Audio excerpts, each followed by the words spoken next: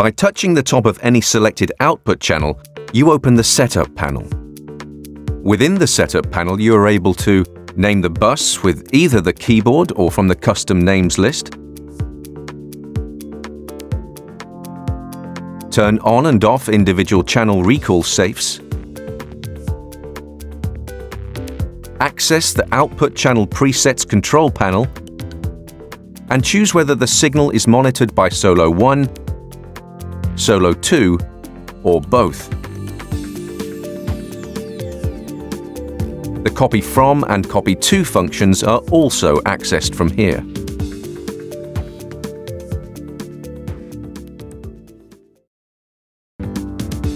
The group and aux output channels have additional controls within the setup panel. First, let's look at the group setup panel.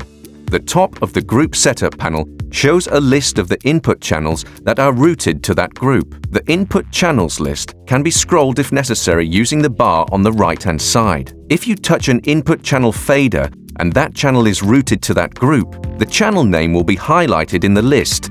Underneath this list are two buttons labeled Clear All and Connect All.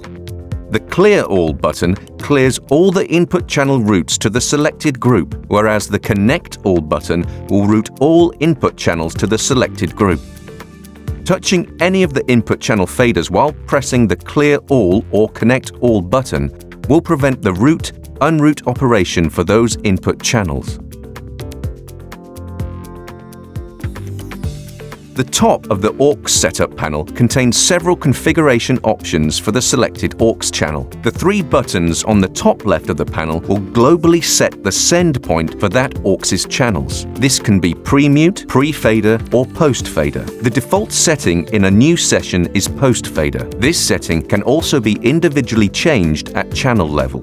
On the right-hand side of the panel are the AUX to fader and AUX to rotary buttons. If it is a stereo AUX, there is also a Link Pans button. The Link Pans control links the selected aux pan to the channel pan of the input channel. If you select this function, the button will turn red and the aux pan slider on the input channel strip will turn pink. The next two control options are aux to fader and aux to rotary. Pressing aux to fader will assign control of the input channel sends of the selected aux to the input channel faders. Similarly, pressing aux to rotary will assign the input channel aux sends of the selected output to the underscreen rotaries. Underneath the controls we have just talked about are the purple Copy Level From buttons. Pressing either the off or 0 dB buttons will globally set the sends to this output to the selected level. The Faders button copies the mix levels of the current fader positions to the aux send levels. Pressing any of the other options copies the channel send levels from that aux and applies those levels to the selected aux, effectively duplicating that mix.